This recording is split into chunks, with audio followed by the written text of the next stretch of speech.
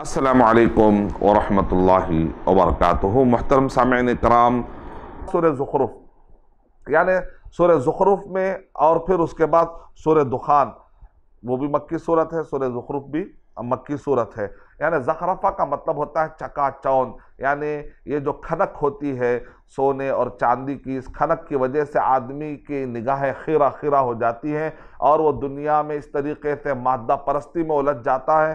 تو بتا دیا گیا کہ نہیں نہیں، یہ سب چیزوں سے ہٹ کر تم کو زہد و تخوا میں آنا پڑے گا۔ اور دین کی طرف آنا ہے تو یہ دنیا کے چمک دمک یہ مادیت سے باہر نکل کر تم کو دنیا کی یہ چکا چون سے نکل کر حقیقت کی طرف آنا پڑے گا کیونکہ یہ سب چیزیں زائل ہونے والی ہیں۔ اس چمک کے پیچھے مت دوڑو۔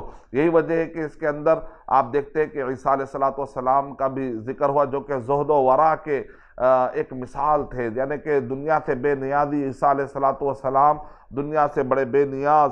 تو اسی لیے آپ دیکھتے ہیں کہ عیسیٰ علیہ السلام عیسیٰ علیہ السلام کے ماننے والے اس کو لے کر بہت غلو کی حد تک، رہبانیت تک نکل گئے، اتنا بھی صحیح نہیں ہے۔ یعنی کہ زہد اور ورا اسلام میں قابل قبول ہے لیکن رہبانیت کے لیول پر نہیں ہے۔ اور اس کے اندر آپ کو ملے گا جدال، اعراض یعنی کٹ حجتی، بحث، مغالطہ۔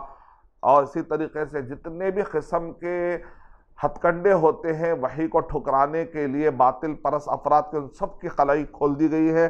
اور دنیا کے زخرفے کو چکا چون کو، یہ سورہ پڑھنے سے کوئی آدمی یہ نہ سمجھے کہ اللہ تعالیٰ نے مال کی اہمیت کو گرا دیا۔ ایسی بات نہیں، اسلام میں زکوٰۃ کا نظام ہے اور ارکان اسلام میں سے زکوٰۃ کی بھی اہمیت ہے، صدقات کی بھی اہمیت ہے۔